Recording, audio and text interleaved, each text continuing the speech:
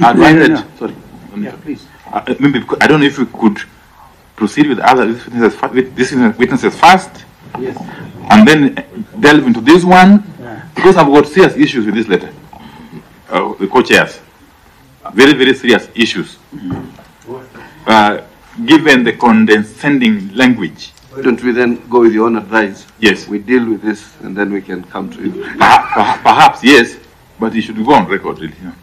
Maybe uh, because I thought that uh, the two avenues of coming before this committee, one is by self-application that you apply, you want to come before us, or we invite you when you feel you have got some information that you can help us with in, uh, to deliver on our mandate.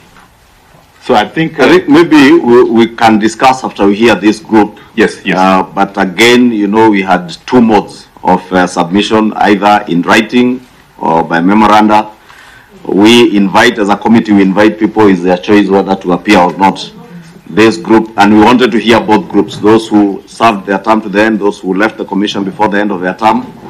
Uh, uh, Wanderi, Nyang'aya, Masit, and uh, Co-chair, I hear you. Cherera have Chair. opted to appear. So Chair. I would, Chair, you know, yes. I would rather we discuss that after. I'd rather we dispense with this. Yes. You know, uh, You want us to dispense with it in the presence know, of, uh, you know, Co-chair. Chair.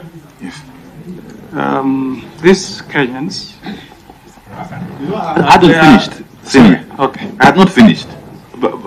But, but, You know, we, we, we were just responding to what you had proposed. What? And I think you're making sense that for those who have honored our invitation and have come here, we deal with it. let us deal with them. Yes. Then we go back to this because it's a serious matter. And even the tone and the arrogance displayed by Chebukati Absolutely. is not a matter we'll not let go easily. What is, what is, um, yes, go on, go on. Yes, yes. Yeah, first of all, I think when we invite people, it's really up to them to decide to come or not to come. There's no, uh, we cannot force people to come before this committee. They come voluntarily. I think that's the way I have always assumed things to be. And so I think it is in order for them not to want to come for their own personal reasons or collective reasons, uh, which they have stated here. So, so I, I, I- think we just need to let it be and listen And to those who will come before us. Chair,